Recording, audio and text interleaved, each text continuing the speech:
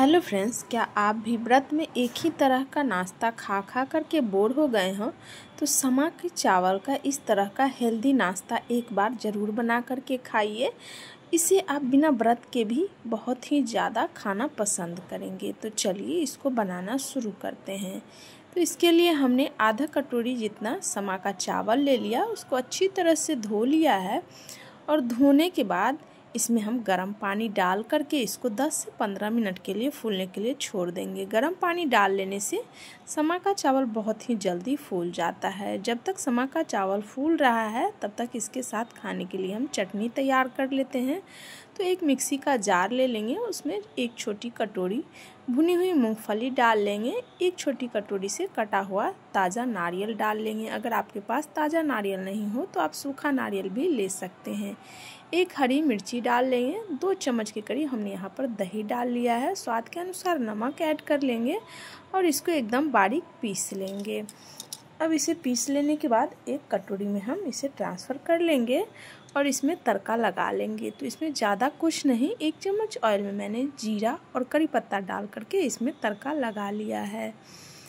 अब यहाँ पर समा का चावल भी फूल चुका है। इसका सारा एक्स्ट्रा पानी निकाल देंगे और इस समा के चावल को एक मिक्सी जार में ट्रांसफ़र कर लेंगे।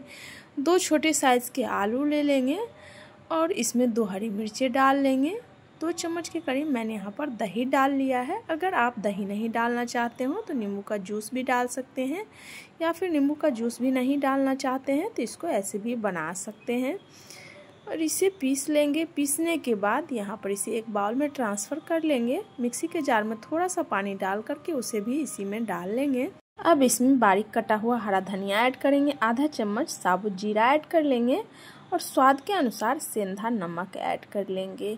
अच्छी तरह से मिक्स करेंगे। तो मिश्रण थोड़ा सा गाढ़ा लग रहा है तो मैं दो चम्मच के करीब और पानी डाल करके इसको अच्छी तरह से मिक्स कर लूँगी। इसमें से जो कोई भी चीज़ आप व्रत में नहीं खाते हो, उसे आप इसकी भी कर सकते हैं। तो चलिए बैटर तैयार है। अब हम नाश्ता बना लेते हैं। तो नाश्ता बनाने के लिए सबसे पहले गैस के ऊपर एक पैन रखेंगे। पैन जब एकदम अच्छी तरह से गर्म हो जाएगा तो उसके ऊपर घी या ऑयल डाल लेंगे। घी या ऑयल लगा लेने के बाद हम बैटर लेंगे एक चम्मच और इसको गोल शेप में फैला देंगे इस तरह से। जब ऊपर से हल्का सा ड्राई हो जाएगा तो कुछ बूंदे ऑयल या घी की हम डाल लेंगे। आप चाहें तो इसको बिना घी ऑयल के भी बना सकते हैं। बहुत ही आसानी से ये पलट जाती है। आप देख सकते हैं एक तरफ़ ये सीख चुका है। मैंने इसको पलट लिया। दोनों ओर से इसको उलटते पलटते हुए हल्का सा गोल्डन चित्ती आने तक सेक लेंगे। बहुत ही आसान है इसको बनाना। खाने में बहुत ही ज़्यादा टेस्टी लगता है और ये हेल्दी भी होता है। केवल दो बूंद तेल में ये बन करके तैयार हो जाता है। बहुत कम सामग्री से ढेर सारा ये बन जाता है। तो इसी तरह से हम ढेर सारे नाश्ते बना करके तैयार कर लेंगे बहुत ही कम समय में। तो देखिए फ्रेंड्स, यहाँ पर मैंने चार नाश्ता बना करके तैयार कर लिया है और इसे मैंने चटनी के साथ सर्व कर लिया है। एकदम फटाफट से बन जाने वाली, बहुत ही ज़्यादा हेल्दी व्रत में खाई जाने वाली ये रेसिपी है।